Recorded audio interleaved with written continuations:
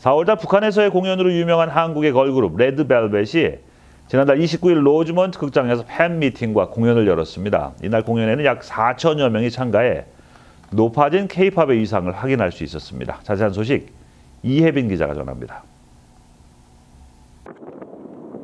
로즈먼트 극장입니다. 길게 늘어선 줄이 케이팝의 그리고 한류의 열기를 보여주고 있습니다. 무대 밖에서부터 이번 공연에 대한 기대감을 느낄 수 있습니다. 한국 SM 엔터테인먼트와 미국 섭컬처 엔터테인먼트가 공동 주최한 이번 팬미팅에는 개인 사정으로 불참한 조이를 제외 웬디, 아이린, 슬기, 예리가 등장했습니다.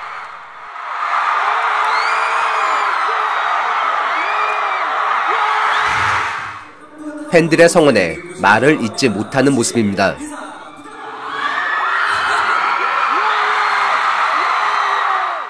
레드벨벳은 히트곡 빨간 맛을 시작으로 달빛 소리와 러시안 룰렛 등을 선보였습니다.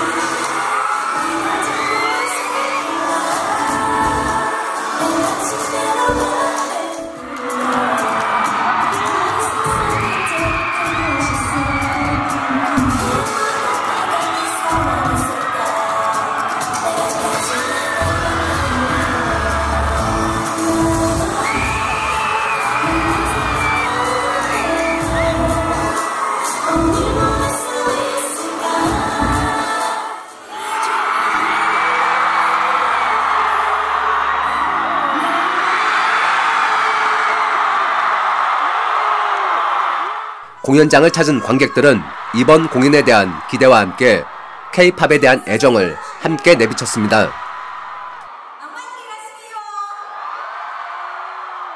When Wendy and everyone did, did the sexy dance, I will never forget it. I will never forget that. Mine will be for Silgi's sexy dance. It was so awesome seeing it. I loved the games in general. Um, I'm actually from Albuquerque, New Mexico.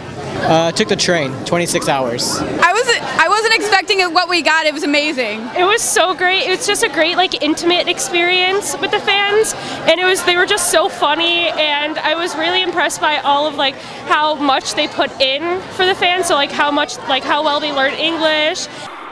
자세한 공연 영상은 내일 유정임의 이슈 앤 피플에서 확인할 수 있습니다.